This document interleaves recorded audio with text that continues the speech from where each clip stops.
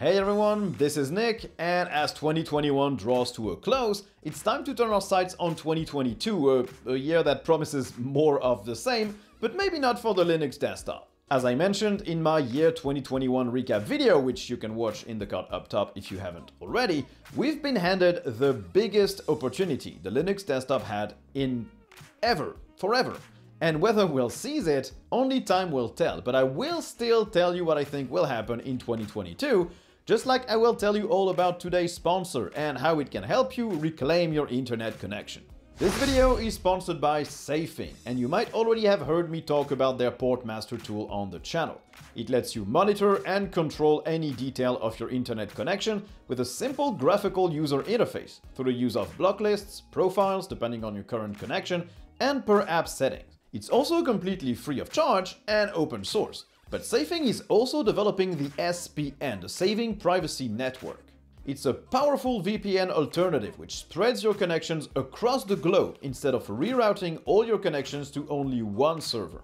With the SPN, you can be everywhere at once. If that's something you'd like to try, or if you want to help support Safing's open source work, you can try the SPN right now and subscribe to it, and you'll get to use it for free in January. So just head over to the link in the description below and download either the Portmaster or subscribe to the SPN. Okay, so let's begin the predictions with the stuff we use every day, the desktop environments. Excuse me, I don't use a desktop environment, I use a tiling window manager. Cool beans, and thank you so much for letting me know in the comments about that. So in 2022, I'm expecting some shakeup in the desktop environment space. The arrival of libadwaita is probably going to have a strong impact on most distros using GNOME and on GTK-based desktops. As more apps get updated to make use of it, and thus don't follow the distro's theme or the user's theme, I think we'll see distributions either moving away from base GNOME or implementing forks and various hacks to fully replace the style sheet and keep their brand identity. If the coloring API makes its way to libadwaita before then, maybe it won't be so dramatic, but I'm expecting trouble and a good full year of issues with themes and users not really understanding what's happening. In the long run, I think libadwaita will be a good thing to ensure we have really well tested, good quality apps. But the first year or years won't be easy, and I'm expecting to see a lot of changes and resistance in that space. I mean, that's not much of a prediction. Us Linux users aren't really known for our love of change in the stuff we use. We'll probably also see the first builds of the new Rust-based Cosmic Shell from System 76, although I don't think it will be shipped by default, and we won't see a stable implementation of it before 2023. I would expect Solus and Budgie to have a long hiatus period, while they focus on their new EFL-based experience to move away from GTK. This distro and this desktop probably will stagnate quite a bit in 2022. I think GNOME will progress with their Adwaita theme revamp, and I'm predicting it will be as divisive as everything GNOME does these days. Some people will love it, others will hate it, and since it will be forced on some apps and distros through libadwaita, I'm expecting it to be quite controversial. They'll also probably keep their medium pace of upgrades, finish moving everything from GNOME tweaks to the main settings, add a few features here and there, update the core apps. I don't think we'll see anything spectacular or game-changing in how the GNOME desktop works, at least until libadwaita is fully out. And I can hear a huge sigh of relief from the people who just got used to the horizontal workspaces. On the KDE front, I think the end of 2022 will see KDE finally reach a polished level that makes it comfortable for most people. Their approach to app redesigns, with hamburger menus, no more menu bars, and simplified toolbars, will also make their default apps more approachable, and thus the whole KDE desktop will grow a lot more user-friendly. I wouldn't expect most distros that are currently based on GNOME to move to KDE in 2022, but I think we can expect some changes in 2023, in a repeat of the long cycle of desktop dominance. When I started using Linux in 2006, it was KDE that was the default for most serious and business-focused distributions. KDE 3.5 was the default, only with Ubuntu pushing GNOME 2 forwards, and then the release of KDE 4, which people didn't really like, did GNOME gain ascendancy again. And I'm expecting KDE will regain a stronger position in the years to come at the detriment of GNOME. I would expect the Elementary team to release OS 7 during 2022, It won't be as much of a change from the previous version as OS 6 was, but they won't want to repeat the bad situation of having a really outdated version being your current main OS. OS 5 was based on Ubuntu 18.04, and that was still the only stable release you could download up until 6 months ago, with really outdated repos and apps. So I think we'll see OS 7 in 2022, not long after the release of Ubuntu 22.04. I won't bet anything on this prediction though. I got burned by Elementary in the past. I think Elementary still won't support in-place upgrades, and people will be pissed about reinstalling so soon after the last reinstall. They also won't use Wayland by default and won't ship FlatHub out of the box either. I think OS 7 will add very few groundbreaking features, mainly a sync method for purchases, a few more trackpad gestures in various apps, the initial support for GTK4, more ARM support, and doubling down on Flatpak and Portals to be as compatible with everything as possible. And I still think I'll be a total fanboy and still consider it the best thing ever made. I'm sorry, I can't help it. Other desktops, I expect to keep getting small updates here and there without a major revamp. Cinnamon, though, might have a shot in 2023 at becoming the default for a few distros that got burned by libadwaita. XFCE, LXQT, or Maui Shell probably won't have enough changes to upset the balance of the most popular desktops. Now, on the hardware front, I predict we will see some interesting developments in 2022. 2021 saw System 76 grow a lot, and the likes of Tuxedo and Slimbook got a lot more notoriety, just like Starlabs. I'm expecting this trend to continue, and more Linux hardware to be available with more exotic configurations.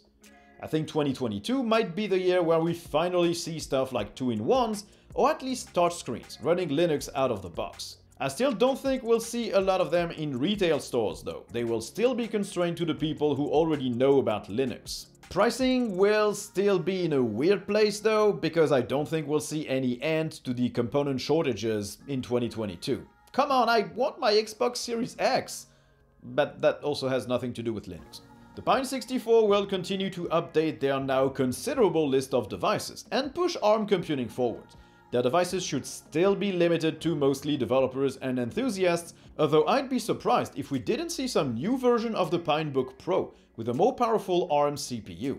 I also think 2022 will be the year where Linux is fully functional on M1 Max. Work has been progressing nicely on that front and I would be surprised if, at the end of the year, Apple Silicon Macs weren't a good platform for Linux users. To go back on the Pine 64 though, I think 2022 will also see a fully functional Linux phone, with support for Android apps that really work. I think people who want to only use a Linux phone and only need a few Android apps will be able to make it work before the end of the year. And of course, in 2022, on the hardware side, each time I will publish a video review of any device, there will be someone in the comments telling me that they could have purchased a refurbished 10 year old ThinkPad and paid half the cost. And I still won't dignify that with a response. No. So let's move on to Linux gaming in 2022. The main thing will be the release of the Steam Deck, and I think it won't receive particularly favorable reviews. I think the hardware will be praised, but that most general gaming outlets will be quick to point out that a lot of very important games just don't run on the device. The addition of anti-cheat support doesn't seem to bear any fruits yet, and the biggest major games that people want to play like PUBG, Fortnite, Rainbow Six Siege and stuff like that aren't compatible yet. So basically, I'm expecting the reviews to say that it's a great device, but that it's held back by its Linux-based OS. This will probably be a bad buzz blow that will last for a while. I'm expecting some people to install Windows on that device and to game that way, even though they will give up a ton of performance optimizations and an adapted interface. This will also lead to these people thinking the Steam Deck is a bad device, because running it on Windows probably won't offer as good an experience as using SteamOS, apart from compatibility with specific games. Still, in the long run, the Steam Deck will be a positive force for Linux. I think it will sell well, if only because it's basically alone in that category, with a trusted brand behind it. So I'm expecting the Steam Deck to be a better device at the end of 2022 than it will be at the beginning of the year. And it will still only be a Hades machine for me. The deck will push Linux gaming forwards a lot, as more games will get day one support and Proton and DXVK get even more capable. I'm expecting more than 80% of games on ProtonDB to be rated gold or platinum at the end of the year. And it still won't be enough to make the general public think that Linux is a viable gaming platform. You will always get the same argument. I hereby pledge that if PUBG runs on Linux, I will switch from Windows to Linux. It turned out that Adrian was full of shit and never switched to Linux even after the release of an 80 version of PUBG. Now, in terms of desktop market share, I think we'll stay at about the same as we are now. Despite more hardware and the deck, it won't be enough to move the needle. All in all, I think the Linux desktop won't be in a much better place at the end of 2022 than it is at the end of 2021. We will still have low market share and struggle to find any Linux-based device in general stores. Linux gaming should see a sizable boost, but it won't matter much in terms of pure percentage. We'll see a few more games, but I don't expect a ton of manufacturers to ship gaming peripherals with SteamOS. It will be limited to enthusiasts making their own home consoles with it. So, 2022, a good year for the Linux desktop? I think it will be.